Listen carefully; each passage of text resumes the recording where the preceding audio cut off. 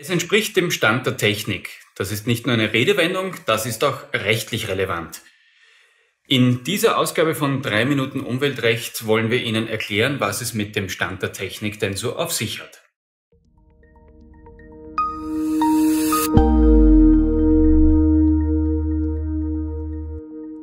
Grüß Gott, mein Name ist Peter Sander. Ich bin Rechtsanwalt bei Niederhuber und Partner Rechtsanwälte mit Standorten in Salzburg und in Wien. Stand der Technik. Da steht schon in der Gewerbeordnung drin, eine Betriebsanlage muss einfach dem Stand der Technik entsprechen. Mittlerweile haben wir zumindest für sogenannte IPPC-Anlagen europaweit auch eine entsprechende Harmonisierung durch die Industrieemissionsrichtlinie.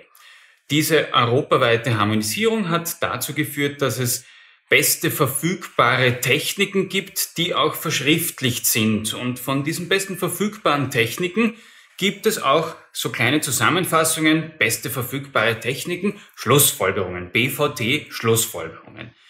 Wenn diese Schlussfolgerungen veröffentlicht werden, üblicherweise im Amtsblatt der Europäischen Union, dann besteht Handlungsbedarf für Anlagenbetreiber. Innerhalb von einem Jahr ab Veröffentlichung muss nämlich dieser Anlagenbetreiber der Behörde mitteilen, ob seiner Meinung nach ein Änderungsanpassungsbedarf gegeben ist oder nicht.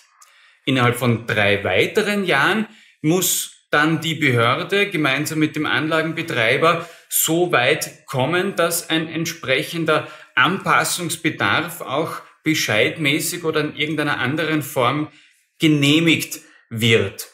Was muss ich daher tun? Ich muss erstens beobachten, ob BVT-Schlussfolgerungen veröffentlicht werden, wenn ich eine solche Anlage betreibe. Ich muss zweitens reagieren, wenn solche BVT-Schlussfolgerungen veröffentlicht werden. Und drittens, ich muss in Betracht ziehen, dass drei Jahre grundsätzlich kurz sein können.